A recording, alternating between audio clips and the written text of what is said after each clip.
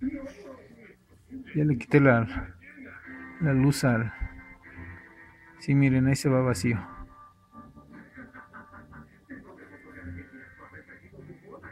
¿Sale? Entonces, es concluyente el asunto, tiene una fuga. No es compresor dañado.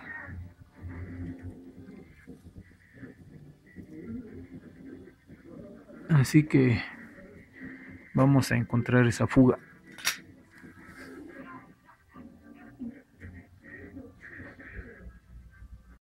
Bueno, aquí qué dice. Aquí ya abrí la, la llave y escuchen el, la presión con la que sale el gas. Ahí está.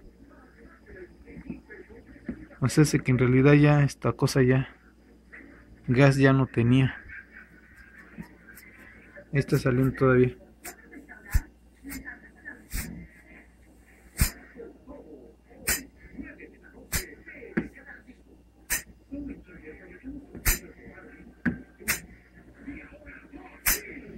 Sí, ya eso, esta cosa ya no tenía gas. Pues vamos por esa fuga.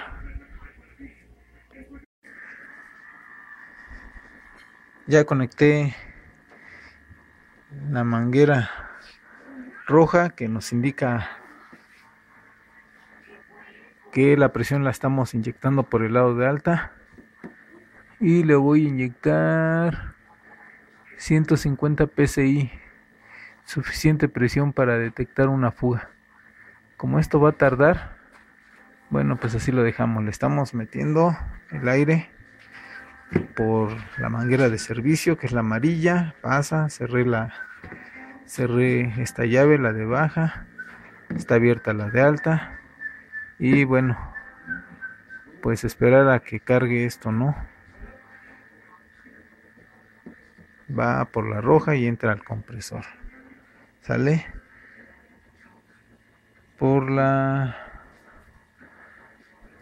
por la válvula de servicio o por el tubo de servicio.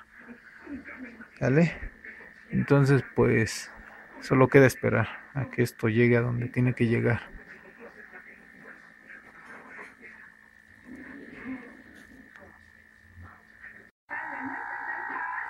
Pues ya alcanzamos los 175 PSI.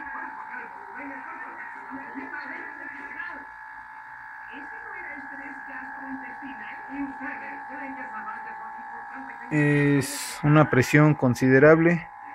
Recuerden que es aire seco, no vayan a hacer esto con nitrógeno porque les anda reventando la tubería.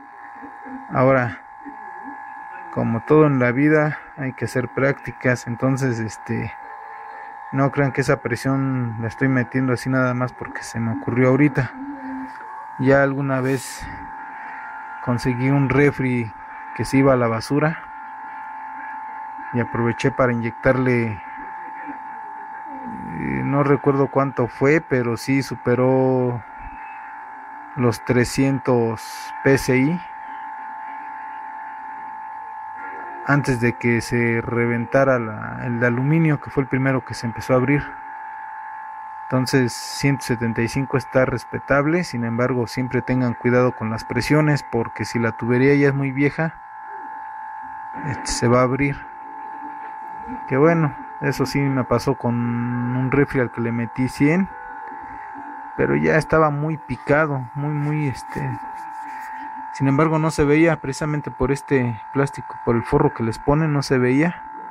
Y a la hora en que le entró, se me ocurrió tocarlo y pum, que se abre el, se abre todo el tubo. Entonces retiré el forro y estaba todo, ya estaba muy, muy picado el, el, el cobre. Entonces, este, no pasó a más.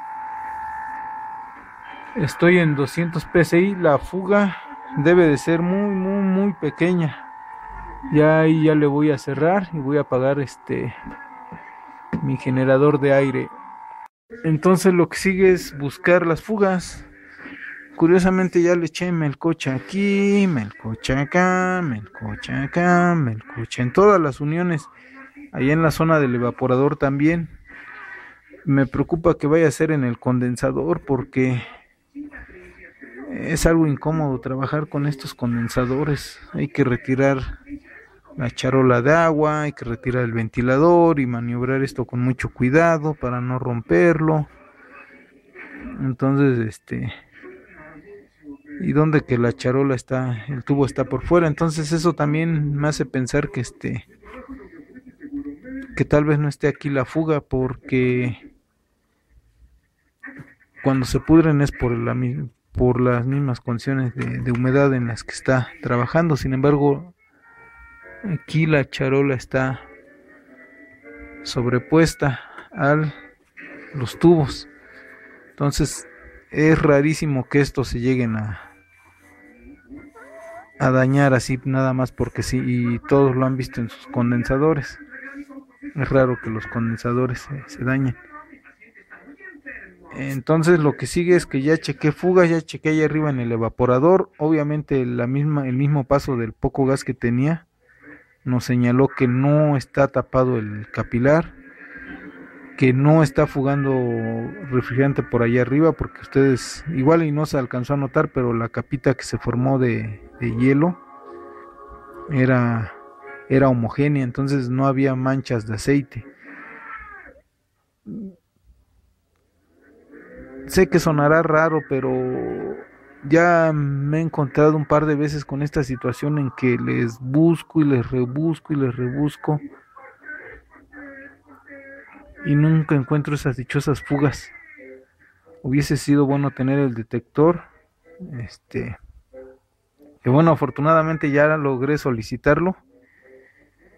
Y me lo van a traer directo de Fluke, entonces tan pronto lo tenga ya en otra carga este tendremos la oportunidad de verlo funcionando antes de que ustedes lo compren. Bueno por si no cubriera los requisitos que ofrece yo lo, lo voy a adquirir y, y lo pondremos a prueba. Aquí hubiera estado bueno checarlo porque tenía refrigerante. Sin embargo no importa este retomando el punto ya me he encontrado con esta situación y de verdad créanme que no logro entender por qué razón este ese gas se pierde y, este, y he arrancado así las cargas y, y de verdad han este siguen funcionando sus refrigeradores porque sí estoy al pendiente de, de esos trabajos porque afortunadamente son personas que me tienen mucha confianza y, y me dejan este ir de preguntón de vez en cuando. Bueno, pues aquí tenemos el evaporador. Ahora bien, ya queda claro que no hay fuga aquí porque el mismo refrigerante nos permitió ver que, se forma de, de, forma homogénea, perdón, por el pleonasmo. Este, ya chequé aquí, de todos modos, ya chequé que hay otra unión. Y lo único que nos resta es esta parte. Hay que botar los forros y checar estas uniones. Pero quiero pensar que si hay una fuga, a fuercita, fuercita va a salir por los lados. Así que antes de botar los forros, voy a voy a robarme, voy, más bien voy a aplicar la idea o la sugerencia que me dio el aprendiz. Algunos técnicos esto lo sumergen en agua. Recuestan el refrigerador y lo sumergen en agua y con eso detectan la fuga. Se vale, situaciones extremas, medidas extremas, entonces se vale hacerlo, supongo yo, porque ellos lo hacen, yo jamás lo he hecho. Pero se vale. Entonces, este, pero el aprendiz me, me sugirió otra cosa. Me trajo esta chaveta y, y entonces, ¿qué es eso? Pues es una de esas espumas que se encuentran en cualquier lado. Entonces la voy a ir echando en toda la tubería. Obviamente lo sano es, retirarla y sacarla para ver en dónde está la fuga. Solo que antes de hacer eso voy a echarle aquí en esta unión tanto del frente como por la parte de atrás y espero que ahí esté la fuga así que iba a ver cómo ando de pulso Ah, sí, agites antes de usarse, dice ahí. Fuertemente.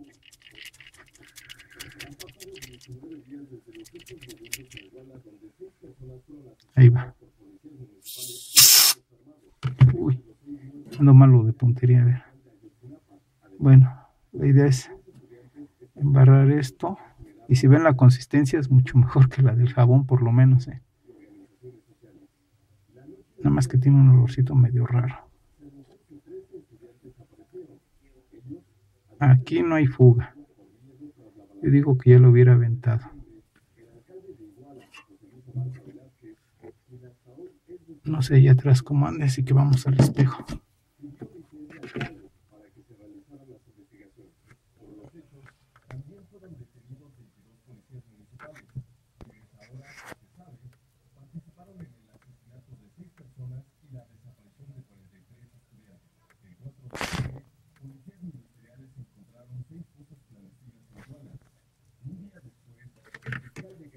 Sé si es mi imaginación, pero creo que ahí está.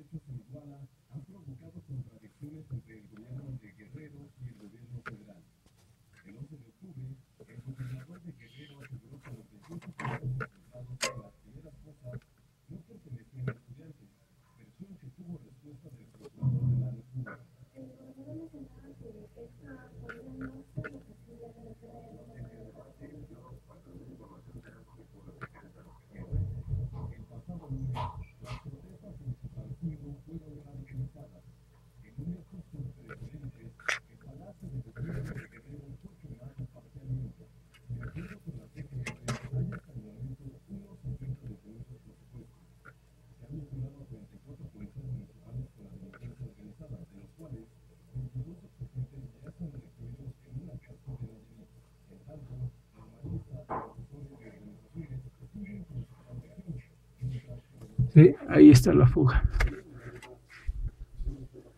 Ya no hay más que buscarle.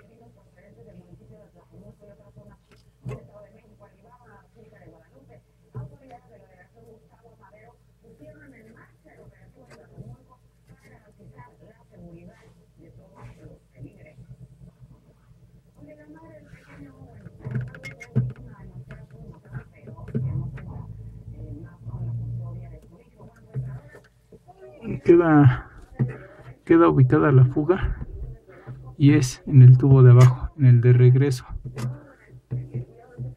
Al parecer tiene entre uno y dos orificios. Bueno, pues esto se lo voy a agradecer al aprendiz. Ya me gasté su espuma. Cómprenla, es este, por lo menos ya vimos que sí funciona.